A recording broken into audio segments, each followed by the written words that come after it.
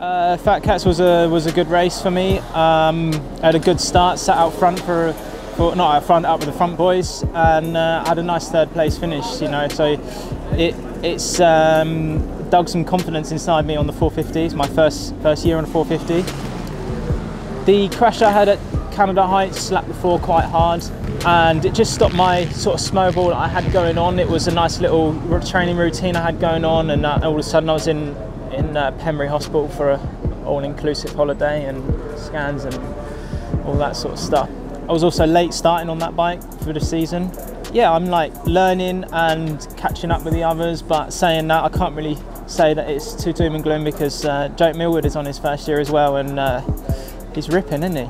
ASA United KTM, it's Lee, Lee Toland's personal team. Um, it's all uh, privately run. We have privately sourced sponsors. The bikes are Lee's, um, and you only got to cast your eyes over them and look how how good they are and the parts they're running. And you know, to, to have someone like him on my side is is uh, a gift. And he's only 30 minutes up the road from me, so um, we get out riding a lot with each other and go at Mill Lane. His track he owns and yeah, it's, it's good times under this awning. It's a pressure-free zone. It's uh, my own results, my own my own training, and and uh, we're here to do the best we can and and show that we are capable of podium.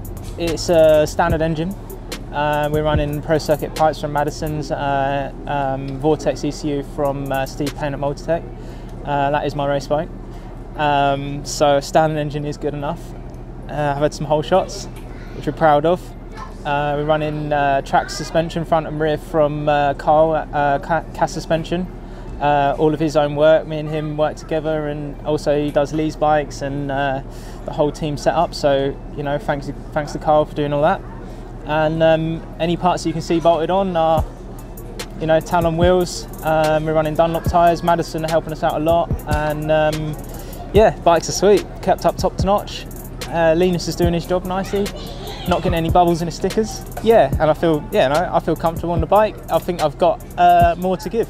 I want to say a um, thank you to Lee Toland for putting this outfit on for us. It's a, as you can see, a professional front and uh, professionally run. Any sponsors that are, you know, looking to get in a sport, it's um, it'll sign you up. It'll probably sign you up today.